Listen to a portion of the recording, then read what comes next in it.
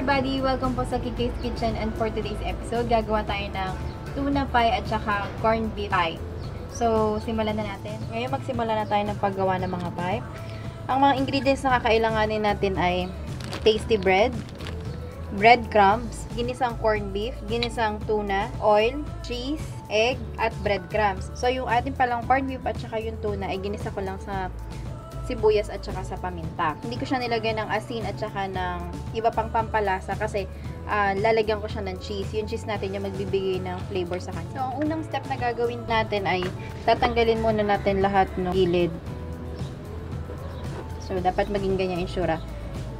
Ngayong tapos na natin tanggalan lahat ng side ang ating sliced bread, i-roll naman natin siya. Kailangan panipisin natin. Kung wala nga pala kayong ganitong bread roll, pwedeng gumamit kayo ng mga baso or tasa or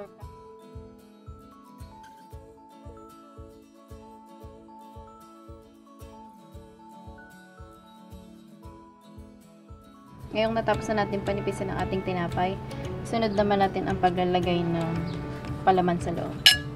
Unahin natin ang corned beef. Cheese.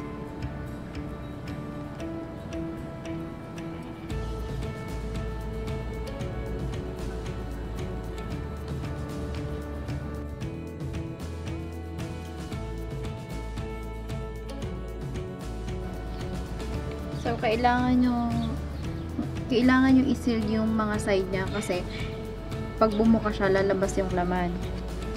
Then, ito yung ating pang close.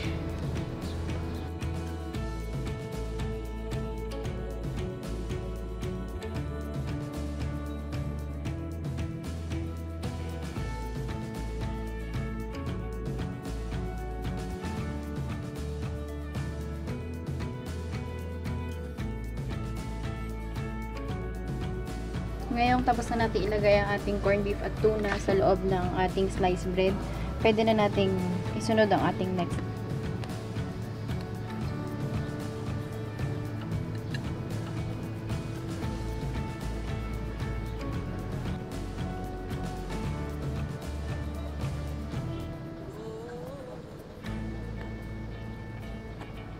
This is it. Ngayon, pwede na natin i-preheat ang ating wok at lagyan ng práctica.